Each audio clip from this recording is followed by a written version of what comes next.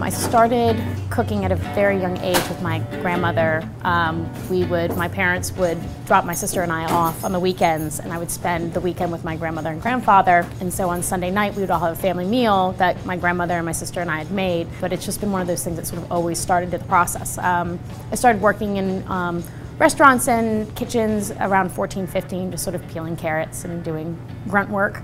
And I went to culinary school right after high school I only stayed there for two years. I figured I was already working full time while I was in Charleston, and I just wanted to just get into the kitchen. So I met Emeril when I was in culinary school, and he's the one who brought me to New Orleans.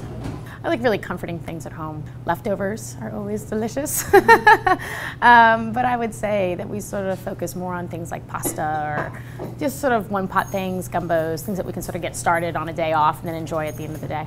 I love toast and jam, and um, I've been making my own butter, and I'm really geeking out about it, and I love it. So I'm literally putting butter on everything. it's delicious, yeah. I wanted to find a way to tie a house-made or homemade element into something that we were purchasing from out of house. I work pretty much exclusively with the Mote family with Progress Dairy out in Mississippi.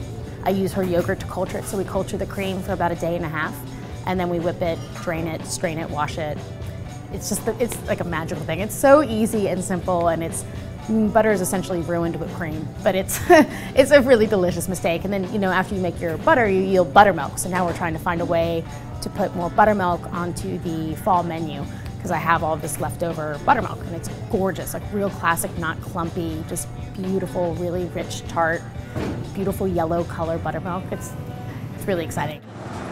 First of all, we love the fact that we are a local neighborhood restaurant. We are very proud of where we source our ingredients from. So we do, I would say 70 to 80% locally sourced and we're working on making up that, you know, last bit of percentage. Um, we have great loyal clientele. You know, I think people are finally coming back and re-experiencing the, the new Meauxbar you know, we're very proud of the things that we've held on. You know, um, Matt and Jim did so much for this neighborhood and for this restaurant that we wanted to respect a lot of that. Just nice little French, you know, Southern comfort food and just a welcoming place. You know, it's a home away from home.